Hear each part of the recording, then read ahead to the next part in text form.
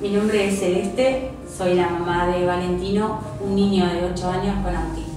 Mi nombre es Mario, soy papá de Valentino y tiene autismo en grado moderado. Muchas de las personas con autismo eh, tienen hipersensibilidad auditiva, lo cual les afecta mucho en estas fiestas los sonidos de la pirotecnia. En el caso de nuestro hijo tenemos la bendición de que él en el mejor de los casos se asuste, se tape los oídos y busque la contención nuestra.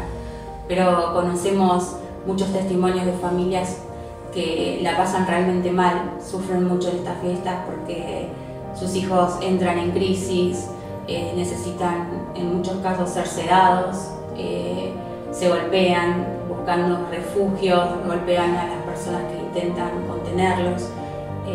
Son momentos realmente de mucho dolor para esas familias en lugar de estar festejando como todos merecemos. La sensación comprobada es que como alguien que está en una guerra, cuando estás en una guerra y explotan cosas alrededor tuyo.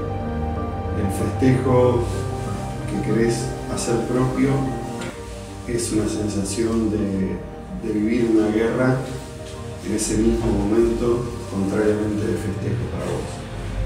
en estas fiestas el festejo de algunos no sea el sufrimiento de otros. Eh, por eso le decimos que lo que a vos te divierte, a otros les duele, y no a la pirotecnia. Por eso ponete en mi lugar.